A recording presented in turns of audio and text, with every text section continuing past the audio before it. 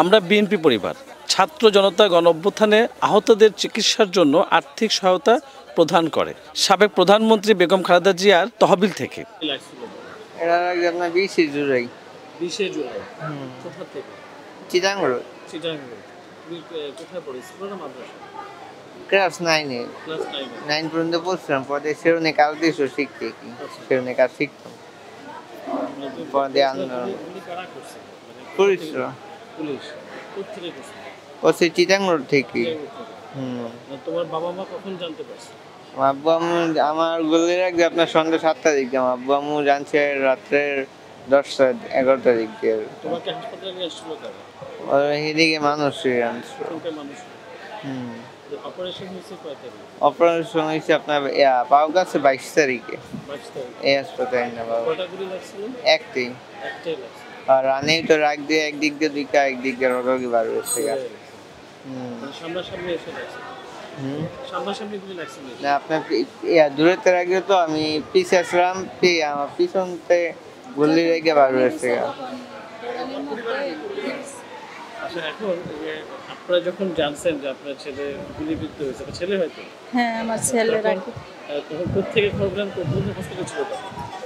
যখন আমরা শুনতে পারছি প্রায় সাড়ে নটা দশটা বাজে রাত্রে, তখন তখন বলছে ঢাকা মেডিকেল আছে, ওরে নিয়ে গেছে, যাদের সাথে আন্দোলনে গেছিল, ওদের বন্ধুরা, ওদের ওই ছেলেরাই নিয়ে আসছে। প্রথম নিচে এই মদনপুর মেডিকেল তখন ডাক্তার পায় নাই, পরে ঢাকা মেডিকেল ওরা নিয়ে গেছে।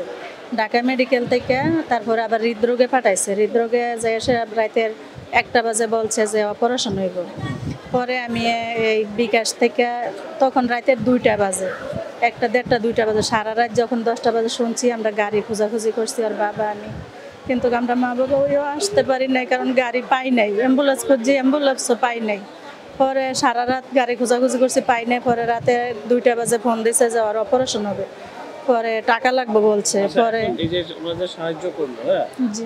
এই প্রথম এর আগে কেউ করে গেছে? না আগের থেকে যেমন ছাত্রদল আসছে পরের থেকে যেমন দেশ স্বাধীন হওয়ার পরে খোঁজ খবর নিতেছে তারপরে আরও পরের থেকে সবাই আসে কম বেশি সবাই সাহায্য সহযোগিতা করতেছে সাহায্য করতেছে যে যেরকম ভাবে পারতেছে এরকম ভাবে সহযোগিতা করতেছে।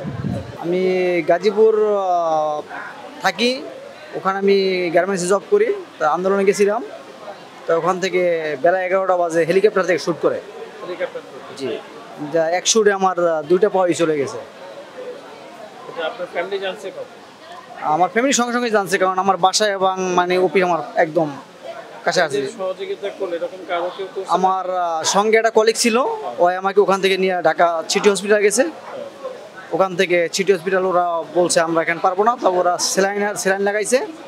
আর মোটামুটি কাছে একটু ব্লাড বন্ধ করে দিছে। দিয়া ঢাকা তাজউদ্দিন আহমেদ মেডিকেল কলেজ হসপিটালে পাঠাইছে অ্যাম্বুলেন্সে।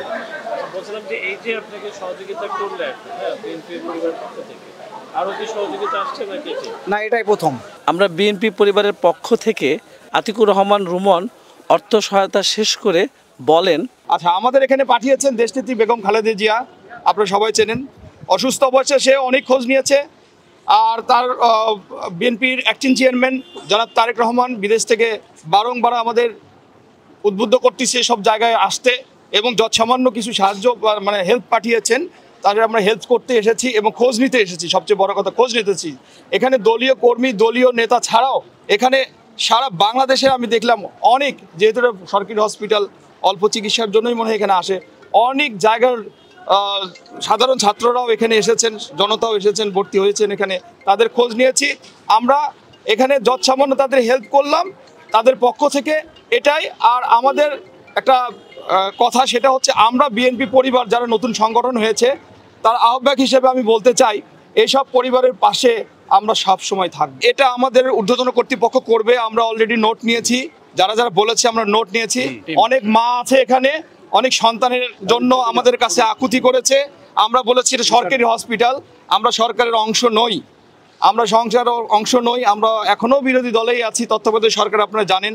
আমরা হয়তো রিকোয়েস্ট করতে পারব বিএনপি ঊর্ধ্বতন কর্তৃপক্ষ ঊর্ধ্বতন নেতাদের মাধ্যমে যে তারা যেন এদের সুচিকিৎসা ব্যবস্থা ব্যবস্থা করে এবং উপদেষ্টাগণদের কাছে আমরা দাবি জানাব, তাদের জন্য সুচিকিৎসার জন্য তারা যত তড়িৎ গতিতে এবং এবং তারা যেন হেল্প করে। কারণ আজকে তত্ত্বাবধায়ক সরকার প্রতিষ্ঠিত হয়েছে এদের রক্তের বিনিময়ে।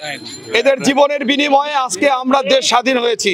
আমি বলব এটা দ্বিতীয় স্বাধীনতা বাংলাদেশের। অল্প সময়ে গণ অভ্যর্থন হয়েছে কিন্তু এরকম অভ্যর্থন অল্প সময়ে অল্প জীব অল্প সময়ে এতগুলো জীবনের বিনিময়ে আমরা যে ইয়েটা পেয়েছি আমরা ইনশাল্লাহ এই স্বাধীনতা ধরে রাখার চেষ্টা করব। আপনাদের সহযোগিতা চাই। তারেক রহমান আমাদের পাঠিয়েছেন। তিনি বলেছেন যে এইসব আত্মত্যাগের মূল্য আমরা ইনশাল্লাহ এক সময় করব যদি কোনো সময় সুসময় পাই আমরা। আমরা যে সমস্ত থানা জেলায় এই ঘটনাগুলো ঘটেছে যারা আত্মত্যাগ করেছে তাদের শহীদি মর্যাদা দিব। তাদের জন্য আমরা যেসব প্রতিষ্ঠানগুলো আছে, সরকারি, বেসরকারি, এসব প্রতিষ্ঠানের নামকরণ করব ইনশাল্লাহ এস কে মামুনের ক্যামেরায় Suman Sheikh, N N TV, জাতীয় অর্থোপেডিক হাসপাতাল, আগারগাঁও, ঢাকা।